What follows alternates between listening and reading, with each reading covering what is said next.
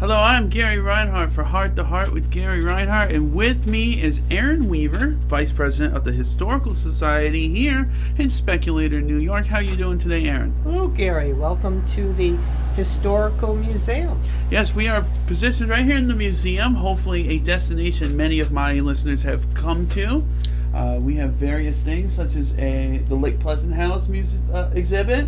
We have boxing exhibits. We have a nice reed organ definitely the right uh, atmosphere to talk about a cemetery tour. Yeah. So, what is a cemetery tour? Well, there's different kinds of cemetery tours. There's the kind that people like to go and get themselves spooked and all that. But most historical societies, when they do cemetery tours, it's more of an educational tour where you go through a cemetery and you learn about the history of the local people who are buried there. All right. Um, and where is this year's cemetery tour? Well, we have have been doing this for quite a few years, and this year we are doing it at Fish Mountain Cemetery, which is located off of at the dead end of Fish Mountain Road. Ah. off of Route 8, which is located in Lake Pleasant, uh, just between Speculator and Piseco. yeah.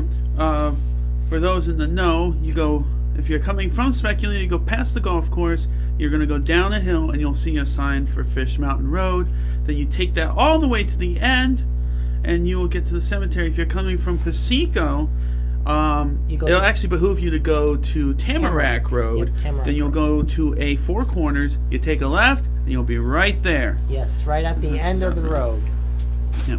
Now, who is buried at like who famous is buried at this cemetery that you know of? Oh, wow. Well, of course, there's the Fish family. They are the oldest family that is buried at this cemetery. Uh, but I don't want to give too many names because uh, I don't want to give away uh, the surprising on who we're going to be learning about at this cemetery. Oh, so will there be ghosts about? Well, that, that's a good question.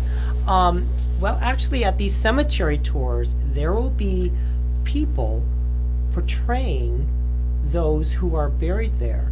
And you'll be uh, following a guide through the cemetery, and he'll be taking you from one tombstone to the next. And at every tombstone that he takes you, there'll be a person who is dressed up as that character who is buried there, and they will portray that character. Give you a little history. But every year we do have a certain ghost who follows us to all the cemeteries we go to. It is a famous local ghost. Can you guess who this ghost is? Oof. Famous ghost. Usually, I'd have to go with French Louis No, not because he's usually Louis. he's usually on the top of the list of famous uh, characters around here. The Rhinelander ghost, of course, is always a favorite, but I don't think she wants to stray too far from the. Well, actually, it is Mary Rhinelander. Oh my goodness! Mary Rhinelander uh, visits us at every single cemetery tour, so we have her there, and people like to take selfies with Mary Rhinelander. She looking for a new uh, boyfriend? to- No, no, she's not looking for a new husband. No? Um, no, no, she just follows about um, because she is a famous legend, and because we always have the cemetery tour near Halloween, um, it is very appropriate to have her. Uh, this year, it'll be on October twentieth. October 20th, 2018. Now, where are some other tours that you have done throughout the years? Well, we always do a roundabout every year, and when we first started these cemetery tours, it was at the Speculator Cemetery behind Charlie John's store. From Speculator, we go to Fish Mountain. From Fish Mountain, we go to Airdville Cemetery. And then from Airdville Cemetery, we go to South Shore Cemetery. And then from South Shore Cemetery, we go right back to uh, Speculator uh, Cemetery.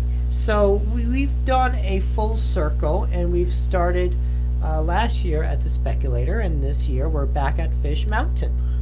Now, I have never actually been to the South Shore Road. Cemetery. I've been on South Shore Road, Mm-hmm. but I don't think I've ever seen the cemetery.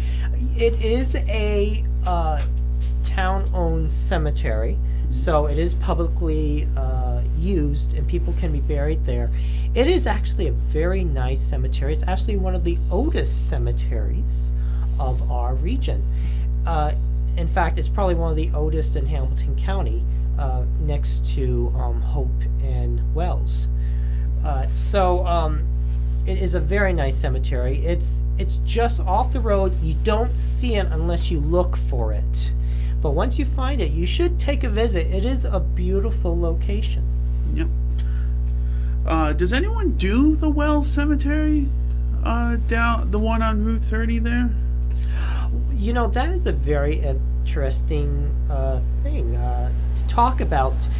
Rumor has it, and it's only a rumor, that Wells might be starting their own cemetery tours because they really enjoyed ours. And they have asked us in the past, the Historical Society of Lake Pleasant Speculator, to help. And we are very happy to help them, uh, to help them start their own tours when they are, are ready to do so. Oh, that'd be excellent because that seems like such a vast uh, cemetery there, right off Route 30. Well, they have more than one cemetery down in Wells. Mhm. And not just that, their history is very much connected to our history. So that would be very interesting to visit. That it would be. Now, when people come to the cemetery tour, are there things they should be bringing with them? Yes, we well every we seem there seems to be a curse on the cemetery tours, and that's the weather. Though last year it was perfect, it was perfect weather, but in the past it always was snowing or it was raining. So we do advise people to when they come to wear warm clothing, bring an umbrella, and bring a lantern or a flashlight. But if you do have a nice lantern that can be used, use that first because it really brings the effect of going back in time. You know, I still have my lantern from when I was Cal Wilbur in the Fourth of July parade. That was what two years ago. Oh wow, really? Yeah. I, I still like using that. It, it does provide that ambiance that the Adirondacks provide. Yes, very nice effect. Um, I know that the almanac this year has uh, forecasted early snow for this area. Oh dear. So I would suggest getting that warm clothes ready for the cemetery tour. What is so amazing is that despite the weather, we've always had a large amount of people come and visit our cemetery tour. And it keeps growing every year. It's really amazing. And this year, um, there are quite a few people that are interested in coming on to this tour. Yeah, and we're all, and it's just the beginning of October, so plenty of time for you to get ready for this uh, particular tour. Now, is this type of tour for everyone of all ages? It's family friendly, and it's not a scary tour to go on. Um, the only thing that's scary is that you're going into a cemetery. but other than that, it is a very family friendly tour. You're basically meeting people in the past and learning about their lives. And these are all kinds of people. They are uh, people who had great influence in our local communities, and there are people that to us would seem like nobody, but when you learn about their lives, you actually learn a little bit of how life was like back then. Now, I myself have a uh, few relatives who are buried at this particular cemetery. Is there any worry about any sort of vandalism or anything of that sort when you're going through these tours? Absolutely not. In fact, safety are in numbers. We very strongly respect the people who are buried at these cemeteries. We do encourage people not to step uh, in certain areas to respect those who are buried. And when we portray the characters, we always try to respect the people whom we are portraying, as well as the tombstones that uh, they uh, that speak of these people. There was one year, actually at Fish Mountain Cemetery, someone had spread the ashes of a loved one there, and we actually had to encourage people to walk in a certain location to respect the remains of those who were spread. Well, that is very good that uh, respect and safety are on the top of your list, along with the enjoyment and entertainment of a cemetery tour. And that's why we have people uh, to uh, be tour guides so that when you're following that tour guide, uh, you won't trip over anything and uh, you would know which direction you're supposed to be going. And that's why you need to bring a lantern or a flashlight. Now, speaking of tour guides, are you looking for volunteers for uh, this particular event? We are always looking for volunteers. we are looking for people who are willing to betray those who are buried in the cemetery. And to do that, all you have to do is contact Ann Weaver, our town historian, and her phone number is 518 548 8351 and she will send you uh, information of a person that you can portray. And if you're willing, you can also dress up as that character, and we might even have some clothing you may want to borrow. You don't have to dress up, but it does help bring in the atmosphere of whom you're portraying. We are also are looking for people to guide uh, those through the cemetery.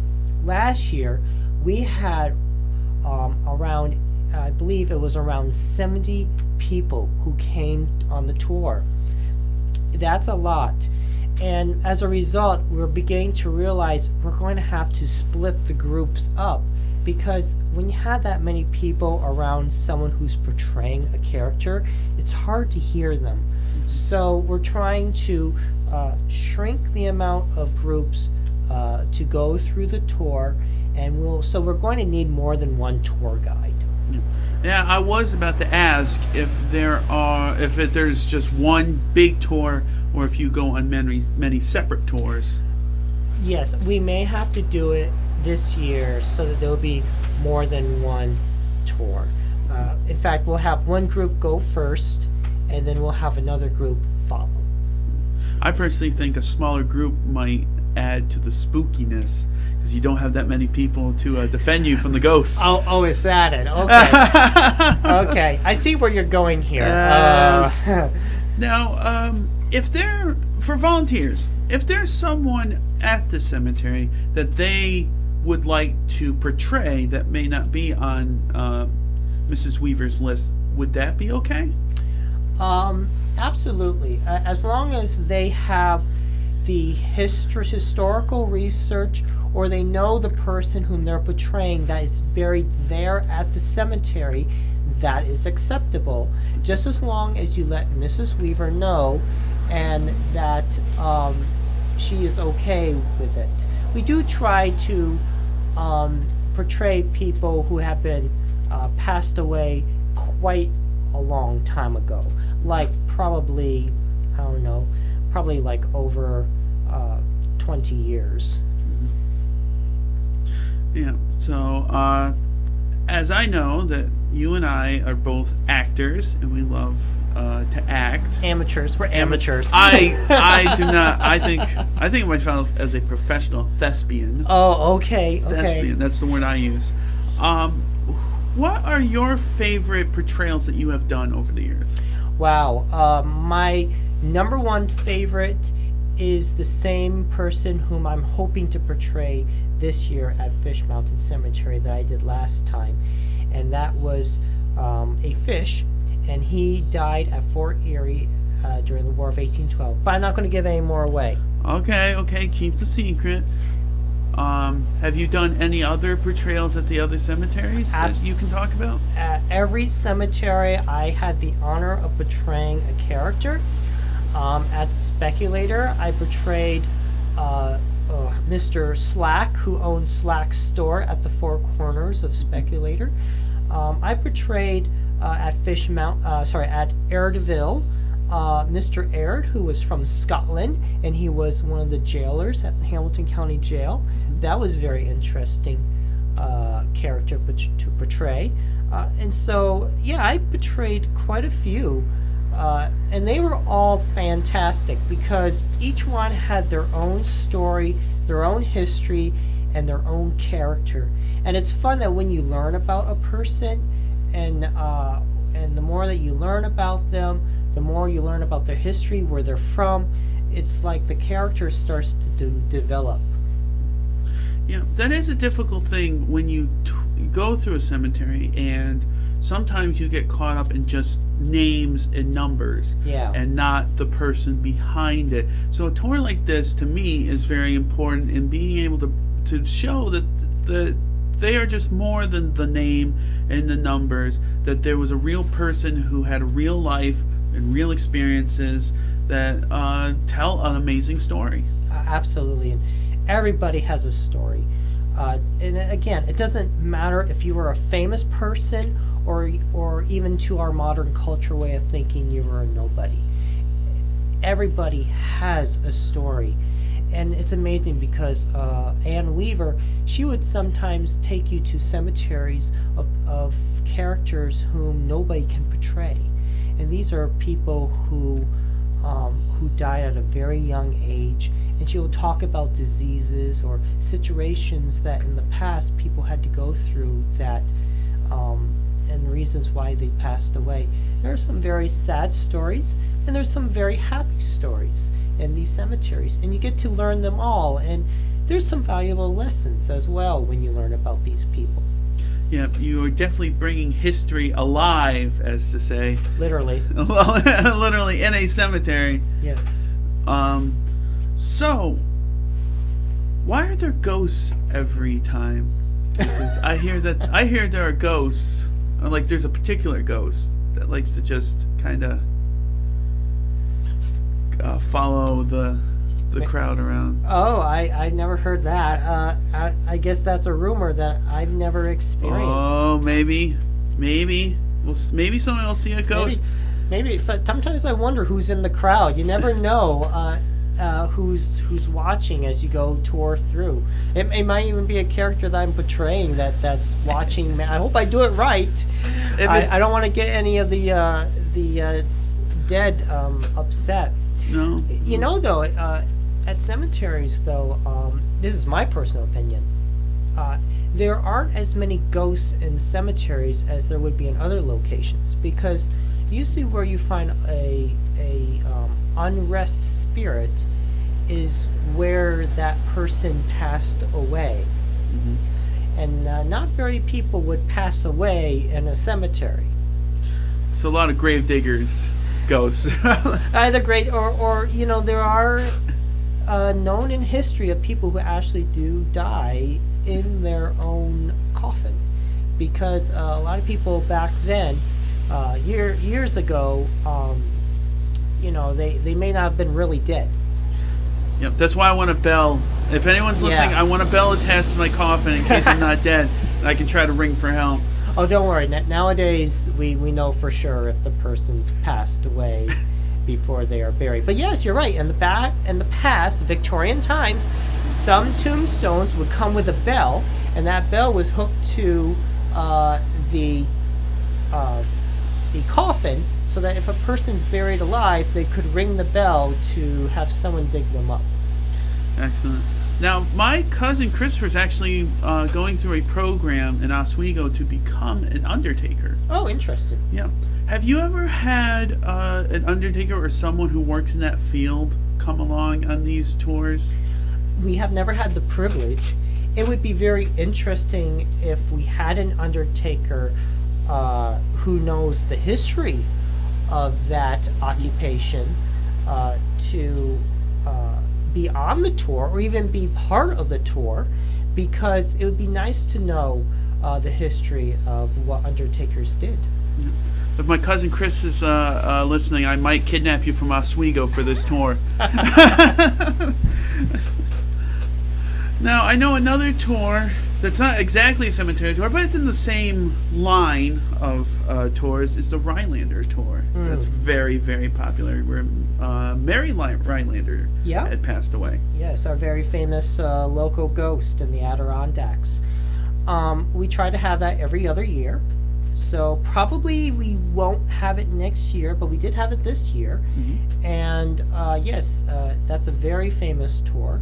The best person to give that tour is uh, Mr. McComb. Uh, he is he seems to know the area very well. So if you're able to contact him, I'm sure he might be willing to give some private tours during the summer. You can always ask him. Now, if I remember correctly, it's down Elm Lake Road, and then there's one of the blue historical signs. Yes. exactly on the side of the road. It's about two. I, I'm guessing it's about two miles or more from the Four Corners of Speculator, and you have to follow it uh, even uh, past Kunjamuk Cave. Uh, just keep following Elm Lake Road until you, like you said, you see the historical marker. The ruins or the foundation, what we believe is the Rhinelanders mansion is located right behind the historical marker. Now, the people on Dackland Radio, they know uh, of the gentleman, Old Man of the Adirondacks. Uh, he invited me at one point to camp out a night at the Rhinelander estate. Wow. And um, I told him I did on the condition that I uh, signed my life insurance the day before. I I am I am super scared of stuff like that, especially knowing uh, the old man. He would mess with me so bad, like I'm trying to sleep, and then the tent just starts moving and well, well, the history of Mary Rhinelanders and the washerwoman's and the peddler's ghost, um, they have never really ever harmed anybody. They've only spooked people, and you know, a ghost is only um, its character, the the unrested spirit is is of their life, and of course, Mary Rhinelander. That's a very sad story, and every time when I go to Rhinelander's uh, estate and go to the ruins, I always fe- feel a oh, how do I put it? a power, a uh, a form of sadness. like a depression almost. Almost, yeah, very much of a depression. And every time when we leave, and this has happened many times, uh, I would I would go in my parents' four wheel tri- drive truck because of the rough roads. And every time when I leave, the wheels would start spinning, and there would be no reason to do so. And and or or sometimes even the car refused to start at first and I was like, why is this doing this? And then I begin to realize, well, maybe it's just Mary Rhinelander asking you to stay a little longer to visit her because she is lonely. She's she was lonely when she was alive there, and maybe her spirit is lonely as well. Aw, now you make me want to go on camping. Now, now I feel bad. I feel bad about not having gone this summer, but it is something that we have we planned on doing maybe uh, next summer, Mm. trying to do something like that. Let me know if you guys do. I might be interested in joining. oh, good. The the more numbers, the the, the more sacrifices we can make. Well, historically, after the founda- after the mansion was burnt down, people did camp within the ruins of the um, of the mansion. So that would be a neat tradition to keep going. And none of them were ever heard from again. No, they, they were always heard of. Shush! It makes it more exciting that way.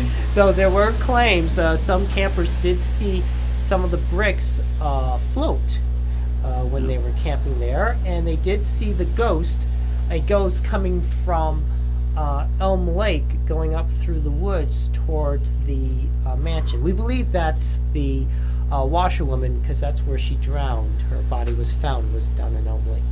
Oh boy, a lot to unpack is there, and maybe we'll have to get our own interview uh, just on that. Yeah, All right, and there's a lot now, of history there. all right. So once again, what is the date and time of the cemetery tour? The cemetery tour is at Fish Mountain Road, located off the dead end of Fish Mountain off Route 8. It'll be October the 20th. It's a Saturday. It'll be at 7 p.m. try to be there at least uh, 10 minutes earlier. Yeah. And uh, once again, if you're coming in from Speculator, the best way to get there is to go past the golf course. You're going to go down a hill, and you'll see a sign that says Fish Mountain Road. Then you just follow the main road.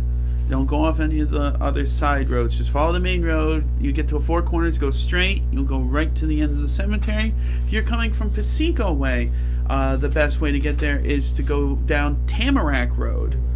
And then you take a left at the four corner uh, place into the cemetery, not to mistake it with the four corners that is famously here in Speculator. Yeah. And remember to bring warm clothing Yeah. and uh, an umbrella or maybe a poncho, anything to keep yourself dry just in case it rains.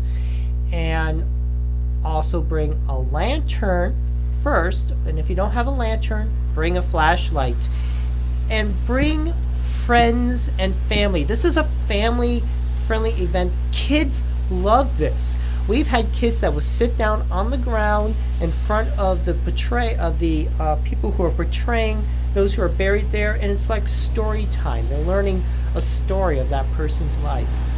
Yeah, it's very, very, very historical and very good time. Now, the museum itself, are you still open right now? uh, to uh, the museum is open to the public, but only by appointment now. You may want to call uh, Ann Weaver or Shorty Hoffman. Um, I don't have their number on me right now, Okay. but uh, you can find information on our website, which is uh, lakespec at wordpress.com. Yeah. Or you can just Google um, Lake Pleasant history. It'll take you right to our to our website. Yep, and I also know you have a Facebook page, a Lake Pleasant Historical Facebook page, which will have this information on it as well. Yes, we do. Um, and, and then you can reserve your spot and tell people you're interested. Not not that you're interested, that you're going. Yes. Hit the going button. Don't yes, hit the interested look, button. Look You for go. Our, absolutely look for our events on Facebook. Uh, it, it would be called Cemetery Tour, Mm-hmm. and you can find it under uh, the historic uh, Lake Pleasant Historical uh, Facebook page or under Historical Society of Lake Pleasant and Speculator on Facebook. And already we have um, over 80 people who are interested in coming to this event. I, I know it, it's it's growing every year. People really love this. In fact, I've had some local people saying that they are staying in Speculator in Lake Pleasant until after this event because they've really enjoyed it or they wanted to come and see it. That is amazing. Yeah. Now, speaking of events, you guys just had Apple Fest. Yeah.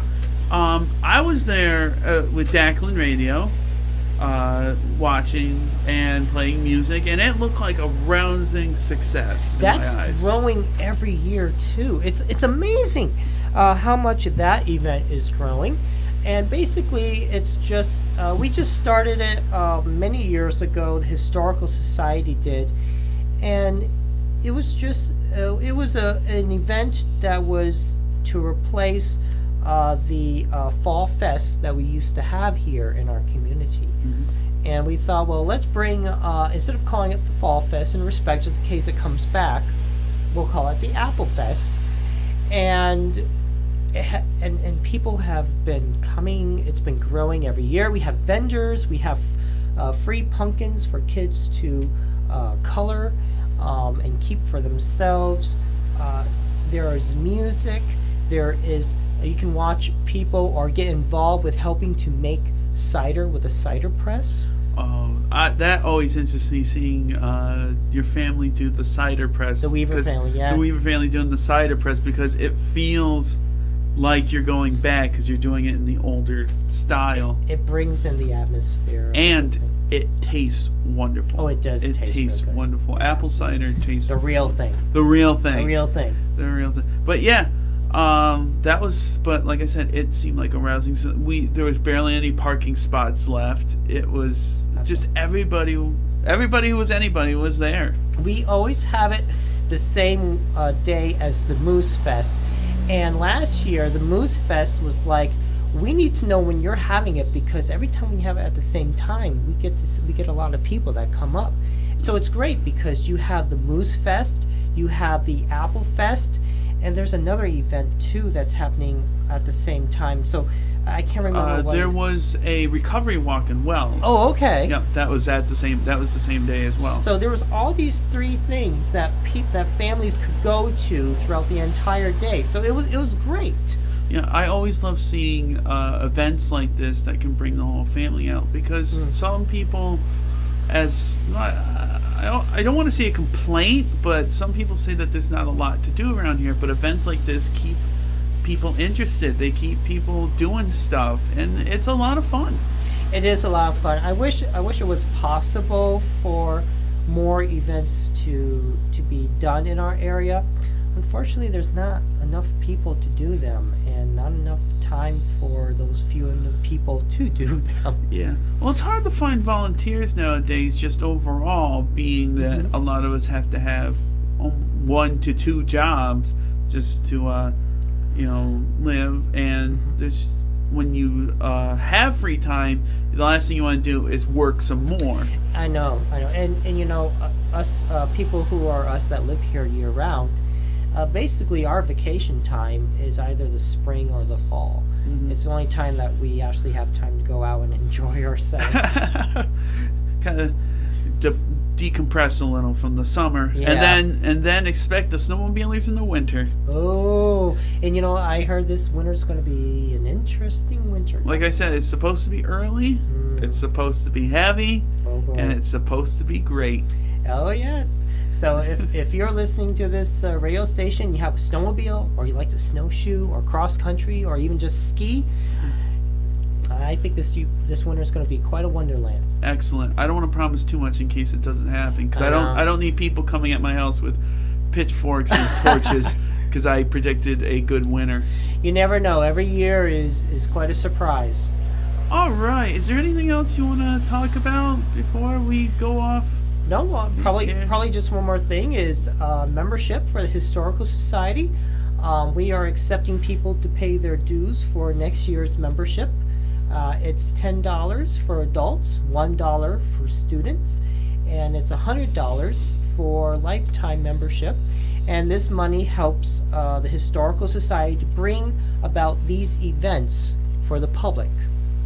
Yes. so join the historical society. I know I'm part of the historical society. I don't make any of their meetings, but I am on paper, and, and I th- I do thoroughly enjoy all the events they put on, and bringing to life this the very interesting and albeit sometimes weird history of Lake Pleasant.